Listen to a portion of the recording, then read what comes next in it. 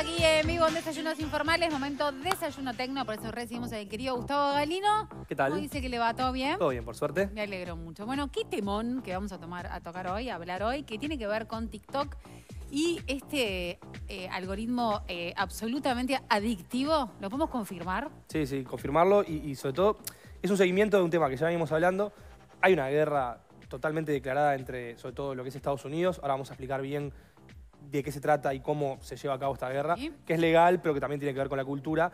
Y tiene que ver con entender cómo TikTok, como red social, como plataforma y como, sobre todo, un agente de, influencia muy importante en, en lo que está pasando, con, sobre todo con los niños y niñas, termina siendo, bueno, hoy este, objeto nuevamente de eh, muchas críticas, de denuncias y de, bueno, eh, un, un punto en el cual, bueno, seguramente algo va a haber que hacer. Y bueno, sí, porque si tenemos en cuenta la cantidad de, de tiempo ¿no? que están expuestos nuestros hijos, los niños, los adolescentes, a esta red social que para muchos eh, modifica y maneja de forma eh, na- no, no al azar qué contenido quieren que vean ¿no? y cómo generar un pensamiento colectivo, este, bueno, ¿qué quieren los chinos que veamos? Sí, ahí hay que hacer varias precisiones. Primero, de acuerdo con, con lo que decís, el algoritmo, para que en casa un poco lo tengamos en cuenta, es básicamente un sistema, un- un, digamos, una, una conformación de órdenes que se le da a, a un determin- a una determinada plataforma para que eh, le muestre al usuario determinado tipo de contenido. Todas las redes sociales lo tienen, todas las redes sociales, las más populares, siempre hablamos de Instagram, hablamos de, de Facebook, que todavía sigue teniendo su popularidad, Twitter. X, bueno, etcétera, etcétera, tienen cada una su algoritmo y, funciona obviamente con sus particularidades, pero la lógica es la misma. La lógica es, de acuerdo al, al tiempo de atención, de acuerdo a los intereses, de acuerdo a las interacciones que el usuario tiene, el algoritmo va detectando qué tipo de contenido le puede mostrar. ¿Qué pasa con TikTok? TikTok es una red social de contenido infinito. ¿Qué quiere decir esto? Que bueno, que uno va navegando, puede ir salteando los videos o no, o los puede ir mirando de forma completa. La realidad es que toda esa información, tanto saltear como verlo de forma completa, es información que después el algoritmo entiende, interpreta. Dice, si el usuario vio todo este video y lo- y- e incluso hay gente que hasta lo vuelve a ver de, de vuelta, quiere decir que le importa mucho y le interesa este tipo de video. Se capta muy bien tus intereses y su gusto. Exactamente. Entonces, ¿qué, qué es lo que se ha descubierto? Bueno, hay un montón de investigaciones.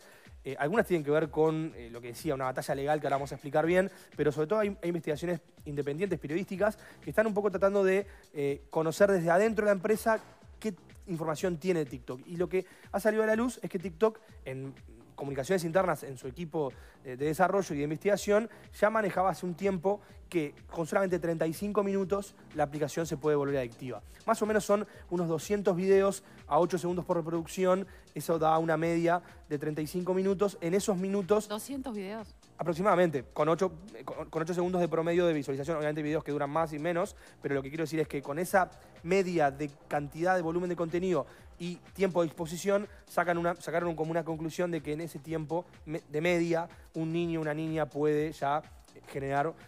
La palabra adicción es un poco fuerte, es un poco, hay que tener mucho cuidado con, cómo se maneja. Quizás lo que podemos decir es una fuerte atracción o una fuerte retención, ¿no? De decir, sigo, a partir de esos minutos ya me enganché con la aplicación, sigo viendo contenido, sigo dándole ese scroll o simplemente dejando que los videos pasen uno atrás del otro. Siempre que hablamos de TikTok hablamos de cómo la gente mayor, menor, pero casi todo el mundo le pasa lo mismo, pierde la noción del tiempo, ¿no? Es como uno de los condimentos más concretos, peligrosos. más peligrosos que tiene esta aplicación, pero esto está tomando, más allá de esto que estaba contando, otro nivel cuando en lo que es una, mm, de- de- digamos, demanda que es colectiva, pero a la vez es individual. En Estados Unidos, como ustedes sabrán, es un, es un país federal. Esto quiere decir que los estados tienen mucha eh, Autonomía. autonomía y mucha independencia y, y sobre todo jurisprudencia a nivel legal. Entonces hay 14 estados de Estados Unidos que están haciendo eh, al mismo tiempo una demanda hacia, hacia TikTok. ¿Por qué están haciendo una demanda hacia TikTok? Porque además de todo esto que estamos comentando, han eh, de alguna manera descubierto también en documentos internos que eh, hay evidencia suficiente sobre contenido explícito de menores de edad, eh, contenido que a su vez está vinculado a eh, los métodos de pagos internos, eh, esto que se llama lo- los TikTok Coins, o es- son tipos de, digamos, de remuneraciones que los creadores de contenido pueden recibir, que después eso obviamente se traduce en plata real que recibe quien genera el contenido, y hay bastante evidencia eh, de que, bueno, hay, eh, este contenido no solamente se está manejando a nivel de mayores de edad, que es lo esperable, aunque también, por supuesto, se puede criticar que una aplicación como esta tenga ese apartado, pero bueno, puede estar, ah, digamos, dentro de lo legal, pero el problema es que ahora están realmente descubriendo que esto afecta a los menores en casos en los que ya estamos cruzando de, forma deliberada la línea de lo legal y eh, incluyendo, por supuesto, un montón de vulneraciones a los derechos de los niños y las niñas, en este caso, no solamente para quienes crean el contenido y se están exponiendo y, están siendo explotados, sino también para quienes están accediendo a un contenido que, por supuesto, no deberían. ¿no? Todo lo que siempre hablamos de qué pasa con los controles de edad, por qué niños pequeños acceden a contenidos y quién te garantiza a vos en una aplicación como esta, ¿no? ¿quién tiene que ejercer el control? Por supuesto, el control parental tiene que estar y siempre lo hemos hablado. Pero la plataforma tiene también su responsabilidad. Por supuesto, responsabilidad objetiva. Entonces, repito, hay 14 estados en Estados Unidos que están haciendo una demanda, cada uno por su lado, pero todos en conjunto, ejerciendo una gran presión sobre TikTok, que no es nueva, porque ya en 2022, eh, e incluso antes, cuando el gobierno de Trump ya había eh, sido atacada la, plataforma y ha sido, eh, sobre todo, muy criticada por sobre todo la injerencia china. Vos mencionabas ahí al pasar y, lo retomo cómo China puede controlar. ¿Por qué? Porque TikTok pertenece a la matriz a una empresa china, que es ByteDance. Entonces, eh, hay un, bueno, en 2022, ya en la administración de Biden, hubo un ultimátum sobre, bueno, la necesidad de que para que TikTok siga funcionando, eh, la empresa pase a tener capitales y representante eh, estadounidense, o sea, en este caso local. Y ustedes dirán, bueno, pero ¿y Estados Unidos y nosotros qué tenemos que ver? Bueno, estas plataformas, por supuesto, son globales. Y, lo, y la fuerza que puede ejercer un país como Estados Unidos para cambiar las reglas del juego, también siempre mencionamos la Unión Europea, son muy importantes para que después eso llegue acá. ¿Por qué? Porque desde nuestro lugar, desde Uruguay sobre todo, no hay ni fuerza para ir contra una multinacional como esta, ni ninguna legislación concreta que nos ayude a cambiar el algoritmo o las reglas del juego. Es importante aclarar además que TikTok, que es de los chinos, no se puede utilizar en China. Bueno, hay una versión Ellos tienen su propia versión, con otro algoritmo, con otro tipo de contenido. Sí, controlada por el Estado. Controlada por el Estado, donde no permite los bailecitos ni la bobada que vemos nosotros. Seguramente, sí.